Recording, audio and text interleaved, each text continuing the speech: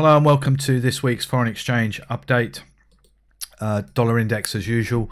Um, actually posted two positive patterns on Monday and Wednesday, um, but they haven't really developed at all. Uh, so pretty poor performance really. Um, it's going to take a daily close above 93.43 uh, to confirm that positivity, and then we can aim for 94.33 and possibly that big, big weekly and monthly zone. There is some minor support at 92.12, but key level 91.76. Uh, daily close below there targets uh, a hidden support at 91.06. Euro dollar um, failed at the uh, red weekly level uh, at the beginning of the week, so we did pop high but not close above. So now it takes a daily close above 119.20 to be bullish. Um, no support uh, all the way down until 116.04. Cable. Uh, typical cable, really. Um, technically, been a terrible market. Um, false breakout on Tuesday. Surprise, surprise. That's not the first time this thing has happened and then a minor negative on Thursday. So um, we need a close above the high that was made on Wednesday to say that the uptrend can restart.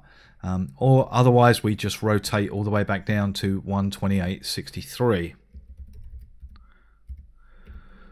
Dollar yen um, had a what's called a bullwhip signal um, on the Friday and then an explosion higher uh, on Monday, but then it stopped directly uh, at the daily level at 105.35. So it needs a daily close above last week's high to be uh, positive, and support wise, we have 104.25.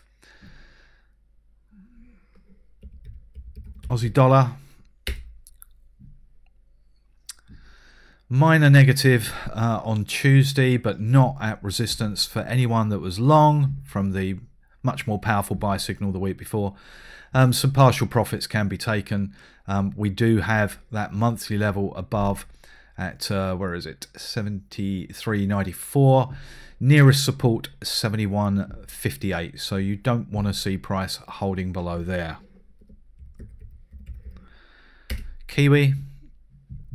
Um, broke out. Uh, we saw the breakout the week before. We've extended higher, but then uh, lots and lots of sales on Thursday and a timing point on Friday. So that's enough to say take some profits. Um, if you want to be really aggressive, you can get short, but remember that there's a major support at 67.56. So risk reward is not particularly good there. Dollar CAD. Um, held the monthly level at 129.52 um, on Monday. Um, unfortunately, I didn't get any positive pattern, um, but we have gone higher and we can rotate all the way back up to 133.15. Euro pound